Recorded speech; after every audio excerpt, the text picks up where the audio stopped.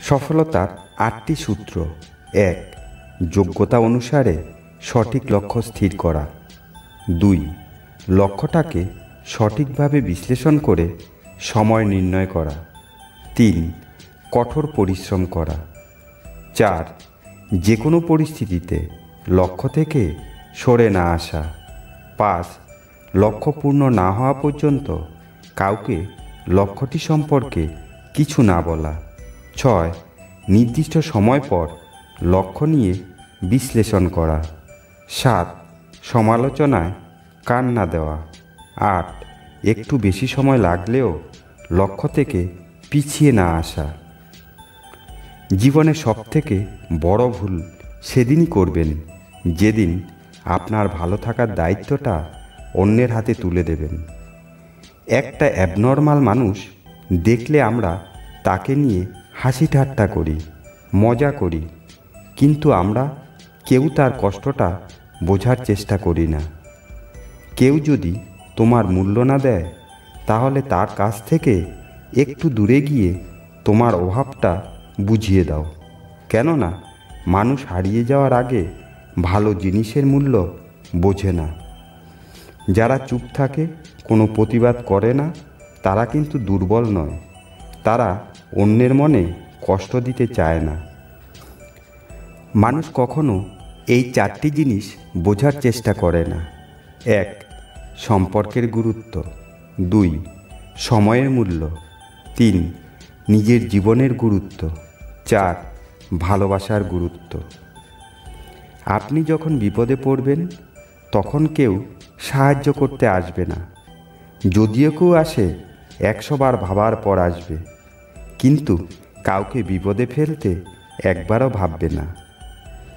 যার যোগ্যতা থাকে, তার সমালোচনা করে। কিন্তু যে সমালোচনা করে, তার কোনো যোগ্যতার প্রয়োজন হয় না। মিথ্যা বলা যাদের স্বভাব, তারা অন্যের বলা সত্যি কথাগুলোকে বিশ্বাস করতে পারে না। আর যারা সত্যি কথা বলে, তারা কিন্তু অন্যের মিথ্যা কথাগুলোকেও সত্য মনে করে। আপনার চলার পথ যদি ভুল হয়, তবে নতুন পথ খুঁজে নিতে পারবেন। কিন্তু ভুল পথে ভুল মানুষের উপস্থিতি জীবনকে শেষ করে দেয়। আপনি পা না ভিজিয়ে নদী পাড়ি দিতে পারবেন, কিন্তু চোখের জলে চোখ না ভিজিয়ে কখনো জীবন পাড়ি দিতে পারবেন না। একটা দেশকে রক্ষা করার জন্য যারা যুদ্ধে যায়, তারা কিন্তু যুদ্ধ চায় না। আর যারা যুদ্ধ চায়, তারা কিন্তু যুদ্ধে যায় না। কেউ যদি অন্যের জীবন সুন্দর করে সাজাতে চায়, সে কিন্তু নিজের জীবন সুন্দর করে সাজাতে পারে না। যে মানুষগুলো অন্যের বিপদে নিজের জীবন বাজি রাখে, তারা কিন্তু নিজের বিপদে কাউকে খুঁজে পায় না। একা থাকা মানুষগুলো সত্যিই খুব ভাগ্যবান, কারণ তার বিশ্বাস ভাঙার ভয় থাকে না। আগে মানুষ ভালো কিছু পাওয়ার জন্য লড়াই করত, কিন্তু এখন ভালো কিছু পাওয়ার জন্য অভিনয় করে। কারণ কি? এখন মানুষের লড়াইয়ের থেকেও অভিনয়ের দক্ষতা বেশি। পৃথিবীকে আলোকিত করার জন্য যেমন একটা সূর্য যথেষ্ট, তেমনি একটা মানুষের জীবন সুন্দর করার জন্য সুন্দর মনের একটা মানুষই যথেষ্ট। কাউকে বোঝাতে সময় নষ্ট করার থেকে সেখান থেকে চলে আসাই ভালো। কেউ যদি আপনাকে অপমান করে, তবে কখনো কষ্ট পাবেন না, কারণ সে জানে আপনি তার থেকে উপরে উঠছেন। আপনাকে অপমান করে যদি আপনার মনোবল ভেঙে দেওয়া যায়, তবে সে আপনার স্থানে যেতে পারবে। তাই কষ্ট না পেয়ে আপনার কাজ করে যান। সব রোগেরই ওষুধ আছে, কিন্তু মানসিক রোগের কোনো ওষুধ নেই। এই রোগের ডাক্তার আপনি, ওষুধও আপনি। যদি অহংকার করতে হয়, চরিত্র নিয়ে করো। সৌন্দর্য নিয়ে কখনো অহংকার করো না। এটা একটা সময় আর থাকে না। পিঁপড়ে যখন মরার সময় হয়, তখন তার ডানা গজায়। তারপর হয় আগুনে ঝাঁপ দেয় না হলে উঠতে উঠতে দানা খসে পড়ে।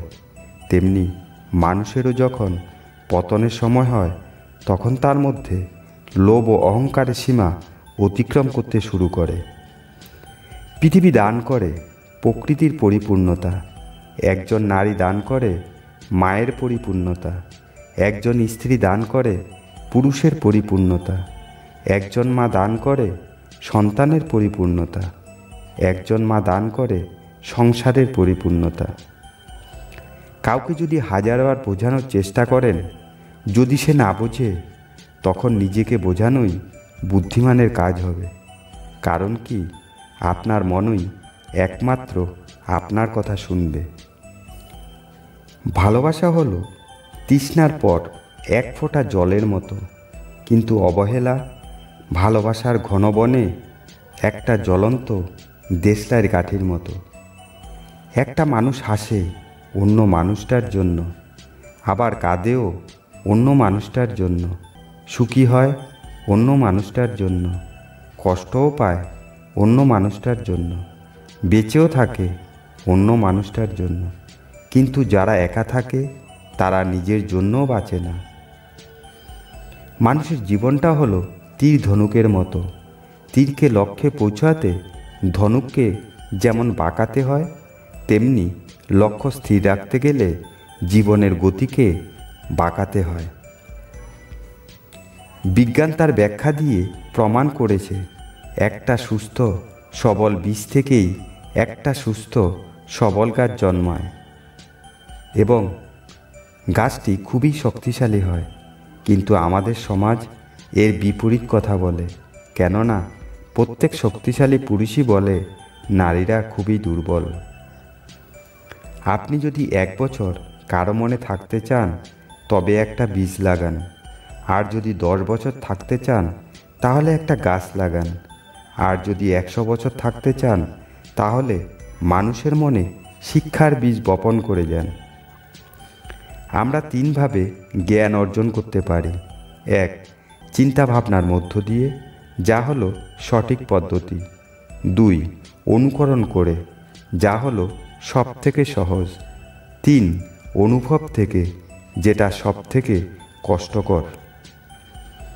যে খাবার আপনার খাওয়ার উপযুক্ত নয়, সে খাবার অন্যকে দেওয়া উচিত নয়।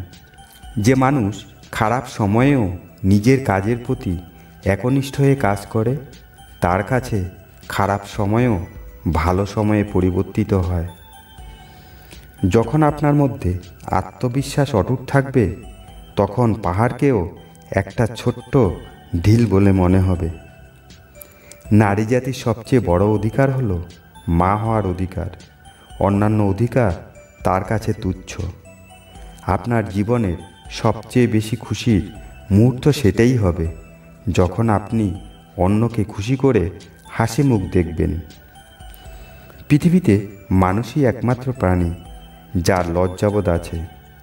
হাসি এমন এক বস্তু যা হলো মানবজাতির জন্য সবচেয়ে বড় আশীর্বাদ। জীবন কত সুন্দর হতো যদি আমরা আশি বছরের জন্ম নিতাম এবং আস্তে আস্তে আঠেরো বছর হতো।